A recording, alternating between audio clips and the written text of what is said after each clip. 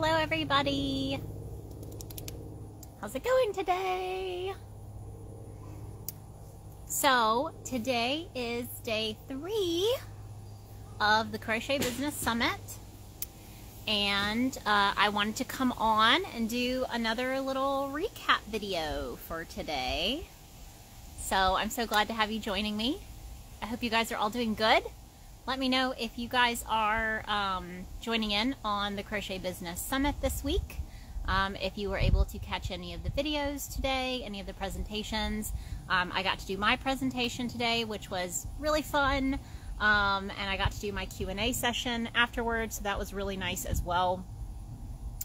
Um, I don't have as many notes today. I will admit my focus has waned as the week has gone on. I definitely struggle with uh, maintaining focus for that long um, and just sitting for that long, you know, having to sit through the presentations. But that is why Pam does offer, you know, you can buy the all access pass so that you have the videos forever and you can watch them whenever you want to. Um, or you can do the power pack where you get access to a lot more stuff. Um, had a few people who said they liked my presentation today. Thank you guys so much. I appreciate that you guys are here. Um, hello, Erica, the lopsided crafter. Um, I'm so glad you enjoyed the presentation. And Yarn Ballet, um, if you do have any questions, feel free to ask them now. This is the time. This is just my kind of recap time. Um, hello from Brazil. Hello, hello. I see Cindra is here.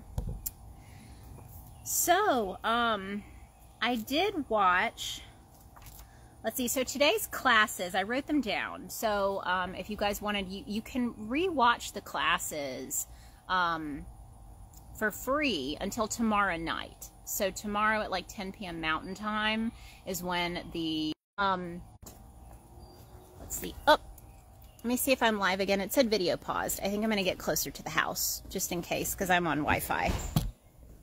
So let's see. Can you guys hear me and see me now? Let me know because it said it paused.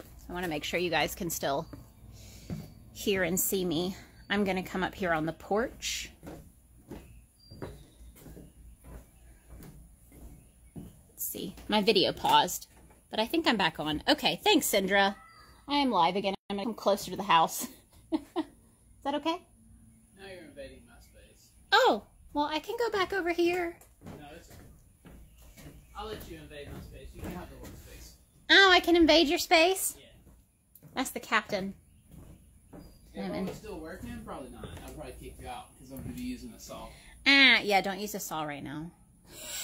Well, that's what I said. You can't come over here in my space and tell me what not to be using. So, but I'm not using it, so you can continue. Well, exactly. You need to take a break. Yeah, sure. Drink you some water. Drink your juice. All right. Drink your juice. Drink your Hello, juice. Hello, everyone. Hello, everyone. If this is your first time watching my live, this is totally normal. I tend to not completely stay on track very well. That's why my lives end up being so long. But I'm so glad you're here. Thank you. We got like 15 people on right now. Hello, hello. It's the surprise from the captain. That's why. It's a Yes, surprise. surprise from the It's like, Captain. who's gonna come by and sit on the couch today? And by the way, the captain is Captain Hook, aka Captain Hook, aka my husband. so if you're if you're new to following me, that is who that is. And we work together and and are together 24/7, so Yay! okay, so the classes that you could have attended today or can still, like I said, you can watch them through to, through tomorrow for free. Um, there was a session about pattern writing. So there were, uh, I think it was 10 tips on writing better patterns. And I want to tell you guys, I do have a pattern writer's handbook. It's 40 pages long. Some of them are notes pages, so it's like 35 pages of good, solid content um, that walks you through the process. So if you've thought about designing patterns, you have no idea where to start, maybe you've written down some notes or whatever, I have that handbook. That is a digital download. You can find it in my Etsy shop. It's like $15. Um, but that is everything you need to know about pattern writing. So be sure to check that out. If you're interested, you can read about it in the description if you're if you're wanting to know what everything that it covers. Um, but it walks through that. And I did get to listen to that presentation today. I actually turned it on in the car and listened to it as like kind of podcast style while I was coming back from the chiropractor today. Um, and everything that she said is stuff that I included in my workbook. So I feel like the workbook is solid because uh, the lady who did that presentation has been doing this for a really long time um, and is definitely an expert. So that made me feel really good about my workbook. Um, but check that out. She gave some really, really good tips. Um, the next one I did not watch because I wasn't personally is interested, um, it was all about how to become a virtual assistant. So another potential stream of income for you. So if you're looking to like run a crochet business and you want some additional info um, or some additional uh, income, you could potentially do some kind of virtual assistant work for someone else who possibly is running a crochet business. So things, and she did talk, I, I think I listened in on like a little bit of it. She talked about things like um, creating Canva graphics for people, scheduling things for people, running social media for people, like all these other things, the aspects of people's business that they don't really enjoy and they would rather be spending their time doing something else. So um, I do a little bit of that. I do one on one mentoring sessions and I do offer social media management for people, which is something that I haven't done.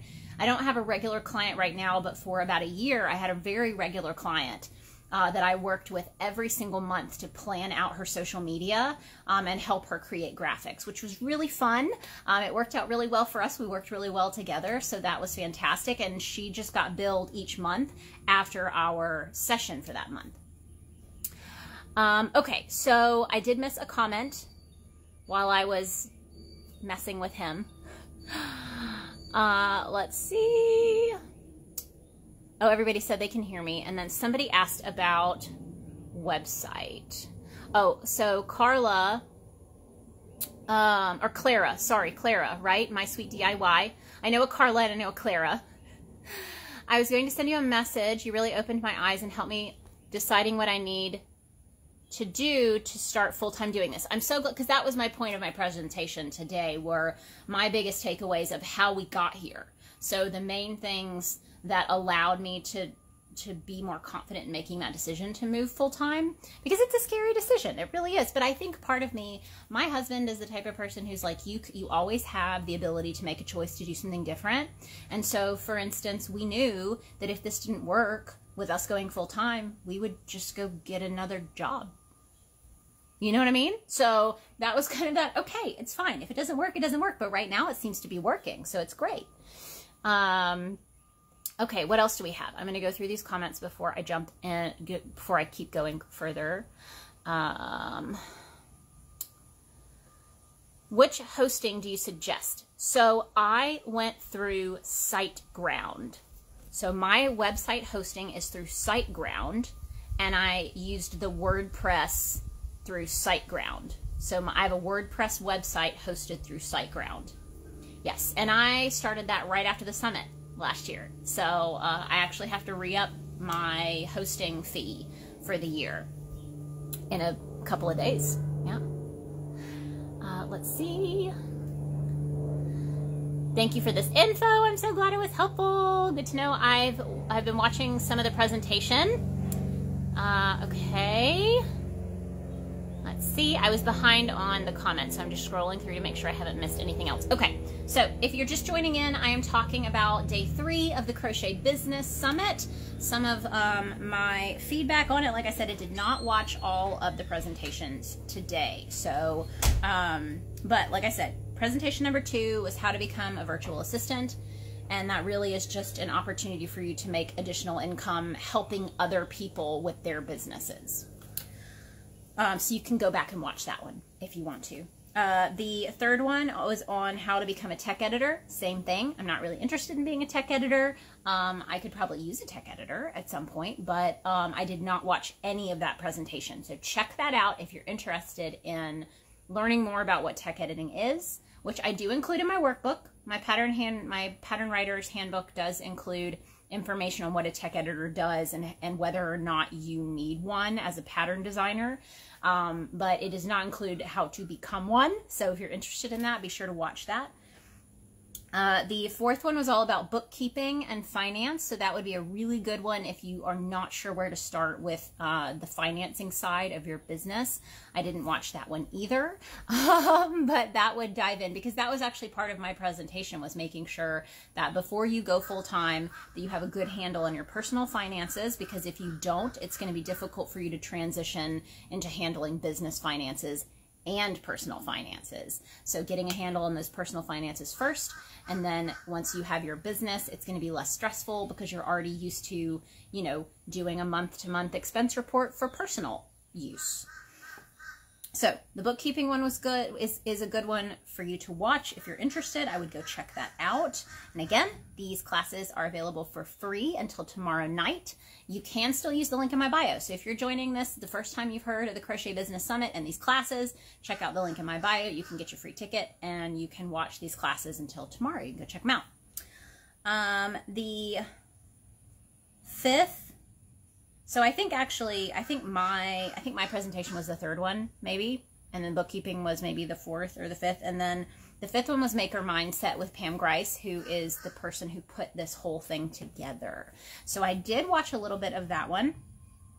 Um, and it was all, so I, I, did, I did enjoy that one because I feel like Pam's presentations are very, um, motivating and uplifting and it's very emotionally um, motivating, emotionally motivating, um, especially for people who are continuing to try to grow their business. I'm going to move this too because I feel like I'm not in the sun. That's a little bit better. My face was really dark. Okay, so the notes that I took from Pam, uh, all about the maker mindset, was it was really about how as creatives, sometimes we tend to see our creative tendencies and our innovative thoughts and our creative thoughts as a negative when we shouldn't. We should be harnessing those creative thoughts and seeing them as a positive and as like a superpower. So, and I agree with that. I think that innovation is what's going to keep you from feeling burnout. It's going to keep you from getting tired of what you're doing because you're not going to be doing the same thing over and over again if you're willing to be creative and innovate. Um, she talked about how creativity allows you to ask better questions. So, like creativity and curiosity.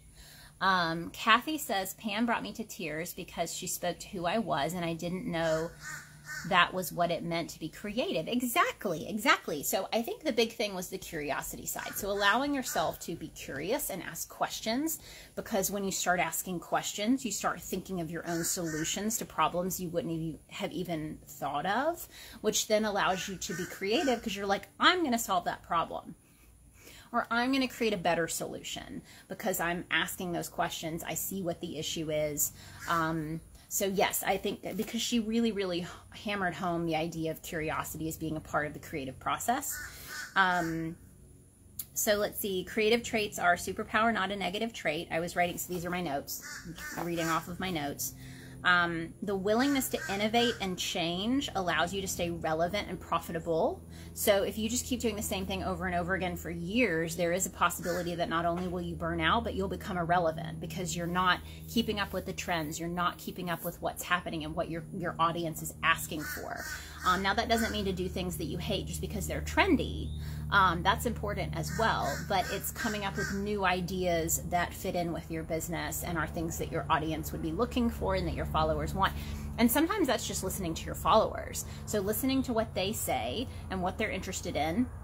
And even if their exact idea isn't what you want to do, again, curiosity and innovation, you can take that idea and say, I may not do this, but I could do this and this is something that I might actually want to do. So I think that's really important. Um, if we are doing something that doesn't look like everyone else's work, and some sometimes this can cause us to feel like we aren't doing something right. So she showed this little graphic, which was really cool, and it was this line of kids and a teacher, and the teacher had given them like some blocks of wood or whatever, and all of these kids standing in the line, I'm sorry, there's a crow flying back and forth. You hear the crow. Um, they had built these big, tall towers. All of them had built their towers exactly alike. They were super proud of themselves. You could see it on their faces. They were standing up with their hands on their hips, all happy. And then there was this one kid in the line who had built this big, crazy castle. And so there's all these kids standing in a line with their straight, tall towers of wood. And there's this one kid who built the castle, and he actually looks kind of sad or upset. And it's because he's looking at all these kids who are so proud of their tall towers, thinking, Did I do something wrong? Because I didn't build what these other kids built. And I thought it was really cool that Pam showed that graphic because I was like, That's true. Sometimes when we're doing something different and we're thinking outside the box, but we're still comparing ourselves to other people, it's easy for us to think, Well, am I doing something wrong? Because my stuff doesn't look like theirs. Um, and it's true. I think I felt that a little bit um, when I decided that I only wanted to work with super bulky yarn, even in the summer.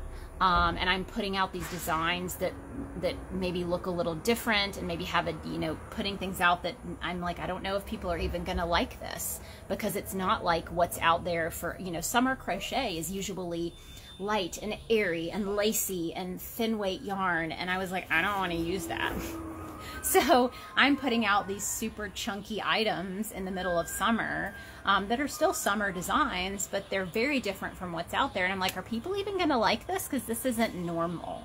And so we have to put that away and say, no, I'm enjoying it. My followers are enjoying it.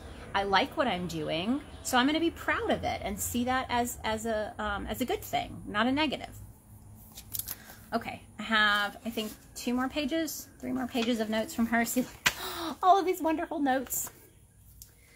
So even the idea of a starving artist, so the fact that that is a term, it really hammers home that a lot of times we don't see artists as being able to make a living, that they're not professional enough to have a profitable existence and support themselves, which most of us who work in the creative arts know that's not true.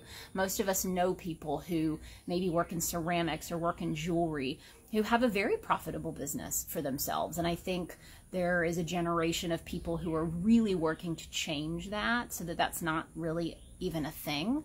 Um, but I think that was important that she brought it up that there is that idea out there that if you're trying to make a living with a creative business that it's not going to be possible or it's not going to be profitable enough for you to make it happen on your own and for you to support yourself which is not true uh, let's see. So you need to, this is according to Pam, you need to develop your creative traits. And these include curiosity, risk taking, being willing to take risks, um, being open to new things, and then all of those then leading to you um, developing your ability to be innovative. And Kathy says, or that artists are crazy or messy, being a negative connotation. Exactly. Um, I do think that there are, in some ways, there are parts of our personalities, at least many of the creatives that I've met, who we do kind of struggle with that professionalism norm of like answering emails right away, being on time for everything, meeting deadlines. Some of us are really good at it, but some of us are not. Um, and it's figuring out the things that you want to work on but that idea of generally an artist or a creative person being unprofessional or unable to like i said have a professional profitable career. Um, so yes that definitely hits home i think for a lot of people. Um, so she also talked a lot about the innate character traits um, of the character traits of innate creatives um, and how much of a roller coaster it can be. Um, so, for instance, a lot of us can be both extroverted and introverted, and it depends on the situation that you're in. So, I know I feel that for sure um, when I'm in in my moment, like when I'm on a live now, I feel very extroverted. I feel like I'm talking directly to you guys. I feel like I connect with you. I love getting comments so that I can interact. Um, I actually struggle a lot with the pre recorded videos, like talking to no one it's very difficult for me. Um, when I go to craft shows, I'm very extroverted because I feel like I'm around my people. I feel like I'm around people who want to see my work and are excited about other people's work and, you know, being at the craft shows. Um, but there are other events, if I go to something where I feel out of place, I can kind of become isolated and not be as talkative and be kind of shy and just wanting to sit by myself um, and not say anything. So it's interesting that there's such a dichotomy um, of different the personality traits. You know, it's almost like you have two different personality traits in the same body. Um, she talks about that a lot, and this is available on YouTube. So if you are again doing the summit, be sure to watch this one. It's it was very very interesting and very motivating. Um, so she talked about how creativity does require nurturing and you nurture it with patience, intention, and practice. And this was interesting because I have always been the first one to say that I can't draw. So when I was in art class in high school, I had a best friend who I was always comparing my art to hers. I said that I was not as talented as her. I wasn't as creative as her. Um, I couldn't draw like she did, like freehanding things. You know, there were other things I was good at, but um, that stuck with me for the rest of my life. And I was like, oh, I can't draw like that. I'm not any good at that. Um, and it was really my husband when he bought his iPad and we got Procreate and I started drawing and designing. So, like, this is one of my designs. Um, and telling me, like, you can't keep saying that you suck at that. You just have to practice, you know? Um, and so it's taken a lot of practice, but it is. It's sitting down and intentionally setting time to practice.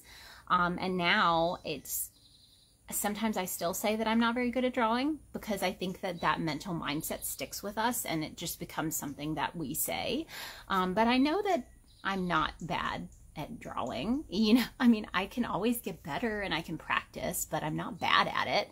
Um, obviously, I mean, I have so many people who see my work and love it and are excited to to purchase T-shirts and and all of that stuff. Um, Sindra said, Your art is awesome. I am wearing some now. Yay, thank you. So, yes, but it took practice. It, it, you know, this was not the first design that I came up with. The first design I came up with literally just said, I'd rather be crocheting and had a little clip art crochet hook, you know? So it took a lot of time and practice and effort and putting in the, the practice hours of sitting there at night instead of crocheting, I was drawing on the iPad and practicing.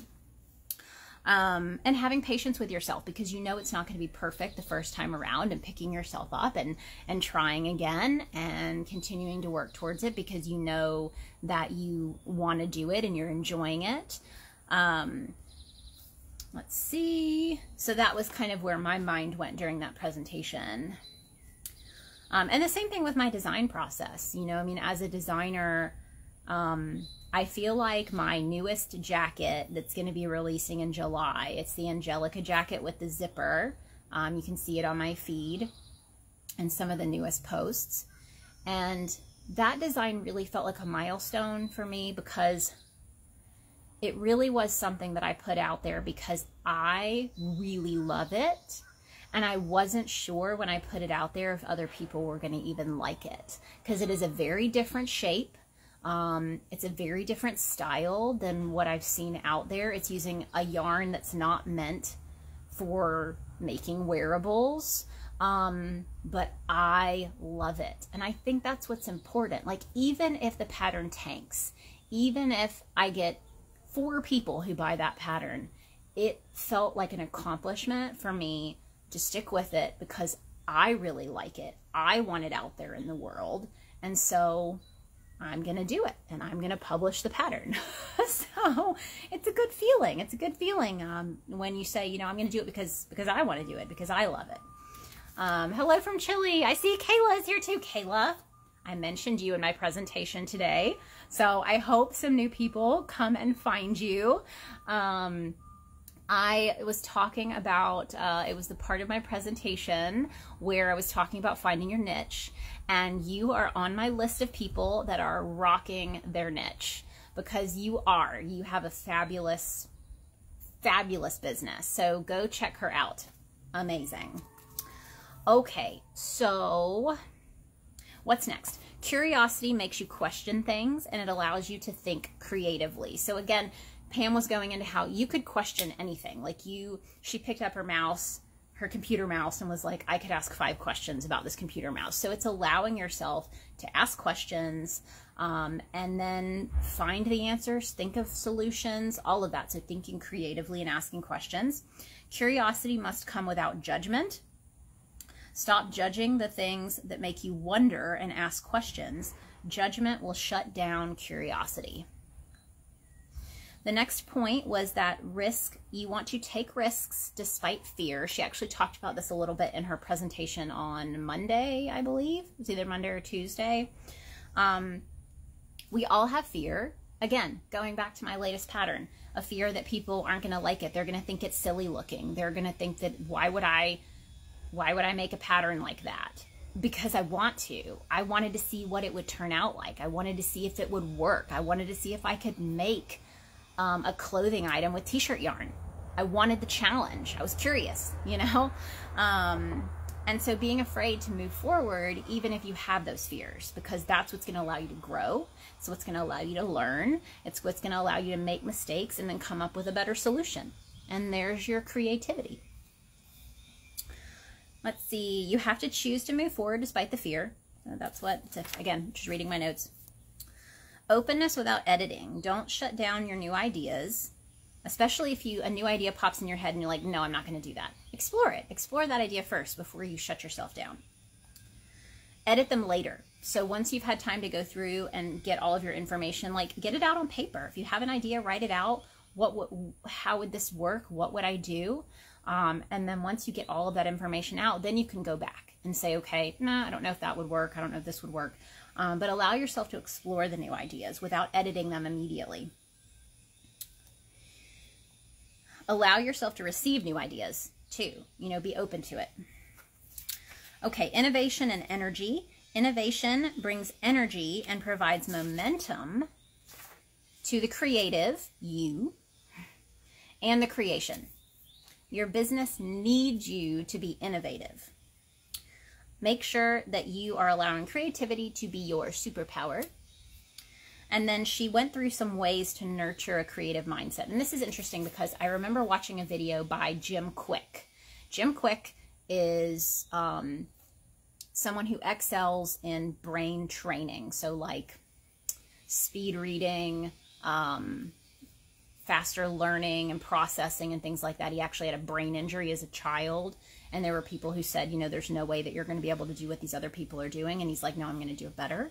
Um, so fantastic channel to follow if you like that kind of stuff. But I remember him talking about how um, creativity is like any other muscle in your body. You just have to, you're, you're not going to run out of it. You just have to practice and you have to work out those muscles. So you have to create time to practice being creative. Um, and that is going to allow you to have an unending well of creativity that you can pull from. And that's what that reminded me of when Pam started talking about these ways to nurture a creative mindset. The first one is to try new things. So always be trying new things. I think for me as a crocheter that is trying out new types of yarn um, to allow the yarn to kind of pave the way of like what should I do with this once I have it and I start playing around with it and making swatches and seeing what it feels like. Um, sometimes that can actually be the catalyst to create a new design.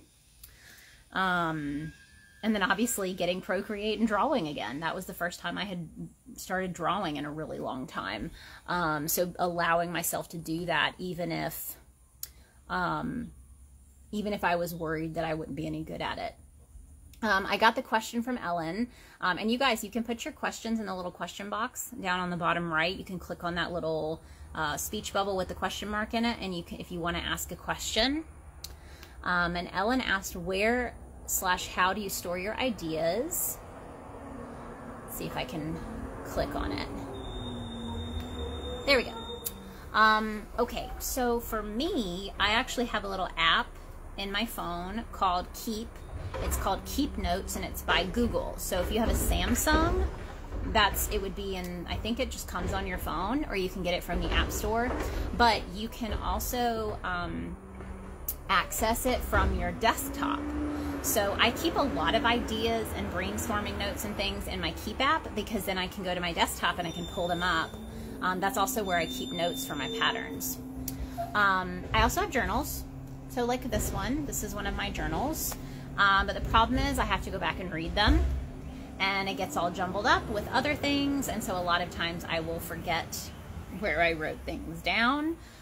So using the app is usually the best way for me to do that, to write down ideas. I actually also have a gallery on my phone uh, in my pictures. So, and you know, I think most phones allow you to make galleries in your native photo keeper. And I have one that's called brainstorming and I take screenshots of things. I'll download pictures, I'll take screenshots of things, and I'll save them to my brainstorming gallery. Um, I also use the Instagram boards. So where you can save, it's kind of like Pinterest, but it's on Instagram, so you can save it to collections. Um, I have a brainstorming collection. I also use that for things like our mystery boxes when I find a really cool product that would be cool in a mystery box, or if I find a pattern on Instagram that I want to include in one of my roundups or if I find someone that would be really fun to um, interview for Pink Sheep and Friends, I'll save to my Instagram boards. So that's super helpful. So those are three main ways that I that I maintain my ideas. So thanks for the question, Ellen. That was a good one. Uh, okay. All right. So trying new things, uh, reflecting. I did not listen to that part, so I think that would just be like meditation time, reflection time. Yes, so keep is not just for my patterns. I use it for a lot of things because you literally have little post-it notes. Um, okay, so getting enough sleep. That's been better for me lately. Um, sometimes it can be difficult, uh, but it's really, I that was another thing that I read. Having a nighttime routine um, whether that's journaling or reading or something, and not being on your phone right before bed can be very, very helpful. So maybe like 20 to 30 minutes before you actually close your eyes to go to sleep, not being on your phone. So taking that time to do something else before you actually go to bed can be extremely helpful. And if you try that, let me know if it works for you because it definitely seems to work for me. Um, usually I'll take some time to read before bed. And actually, I've not been doing that the last couple of weeks, so I need to get back into that habit because it helps me sleep. And I'm working my way through Hitchhiker's Guide to the Galaxy. I'm on the last book in the series, so need to finish that. Okay, um, this was interesting. Uh, this is kind of on the same level as the nighttime routine, as having a morning routine. Um, it's called Morning Pages. It was from a book that Pam read, but it is writing for 30 minutes every morning in a journal and not editing yourself. So getting yourself a journal, and as soon as you wake up in the morning, spend some time writing in your journal. 30 minutes would be a lot for me in the morning, but I think even if you did like 10 to 15 minutes of just writing in your journal, um, can be very helpful. So having a morning routine and having a nighttime routine, I think, are very helpful to helping you get enough sleep and helping you start the day off right and feeling like you can be creative. Think we had another question. Um, My Sweet DIY, talking about your handbook for writing patterns. How long did it take to write your first pattern? Okay, I am going to answer that after I get through this um, so that I don't keep popping off here because I'm almost through my notes and then I will definitely talk about that real quick. Um, okay, there's four more things. Uh, there's get outside. Um, so I need to do that more because my husband's outside all the time. Um, but usually during the day, so like this week, because I've been sitting in front of the computer watching these videos, um, I've been trying to take breaks to have lunch and come outside and walk the dog, um, spend some time in the garden, and just being out in nature uh, is really great for us as humans. So that was one of her points. And then um, she said joining a mastermind, so like a small group of people who are kind of at the same level you are as designers or creators and having brainstorming sessions can be really good for creativity because you're sharing ideas. Um, reading, talked about that before bed, but reading, and that can be anything. That can be personal reading, that can be business reading, whatever helps you.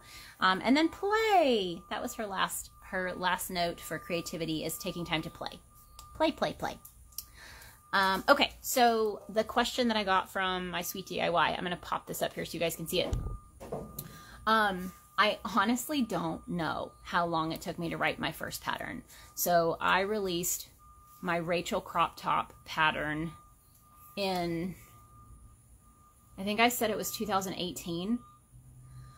Um, and the way that I did that was I was making those crop tops for craft shows. Um, so I had already made the crop top in multiple sizes. I knew it by heart, so I knew the pattern by heart. I would just make it from my head.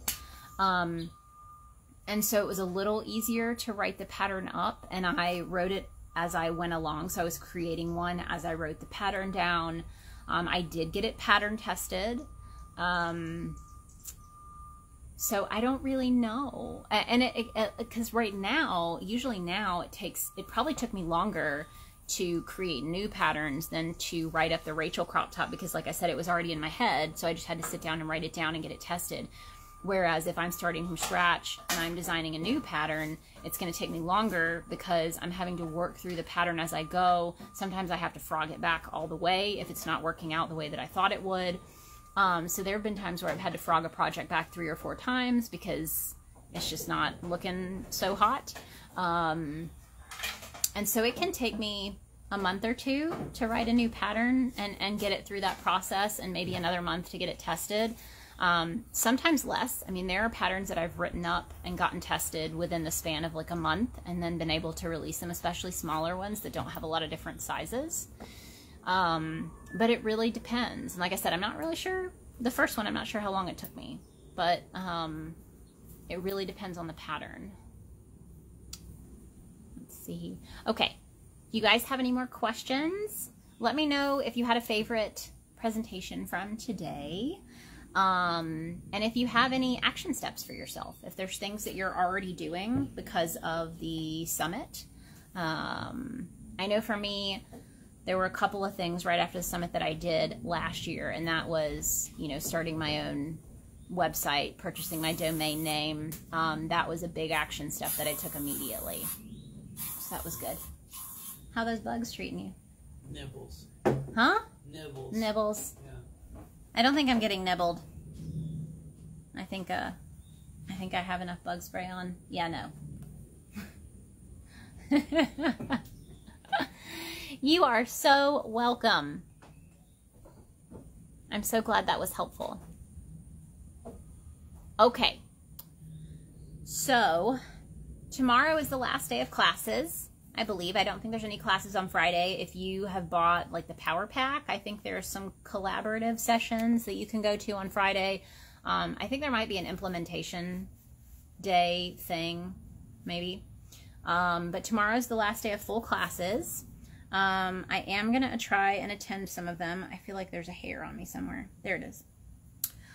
Uh, I'm going to try to attend some of them.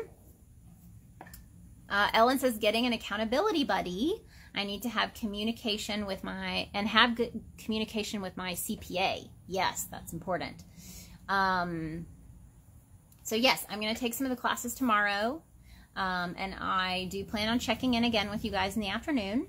So same time, sometime between like four and five o'clock central time is when I've been going live to kind of do my review and my check-in. Um, and I do need to check the time on Friday for the implementation day stuff um, because I may still do my 12 o'clock live on Friday. I'm not 100% sure. Um, We'll have to see. If I do, I'm going to check it today. So if I do decide to do my 12 p.m. live, I am going to schedule it here on Instagram. So you'll actually see it on my profile page that I'm going to go live on Friday. But it'll probably just be me. Um, I'm not sure what I'll talk about yet. I may talk about my presentation and we can go dive in a little bit deeper on finding your niche um, because that seemed to be very interesting for everybody. I do have a YouTube video about that. So you guys can check out my YouTube channel if you want to um, learn a little bit more about that. Um, and I think that's everything. It's been a long week already. So if you guys have been watching the uh, the presentations, I think you know where I'm coming from. Thanks, Ellen. You're always here to support, Ellen. Thank you. okay, let's see. All right, I think that's everything, you guys. I don't see any more questions, so I am going to go get some work done. Or maybe not. Maybe just go... Cook dinner. Yeah, cook dinner and relax. All right, guys, thank you so much for joining in. Um, this video will remain on Instagram, so you can rewatch it if you're joining late. You can check it out and, and rewatch it when you want to. And I will also upload it to YouTube. So if that is somewhere that you would prefer to watch it, you can watch it on there. It'll probably be up in the next hour or two. Um, so I will see you guys tomorrow. Bye. Happy hooking.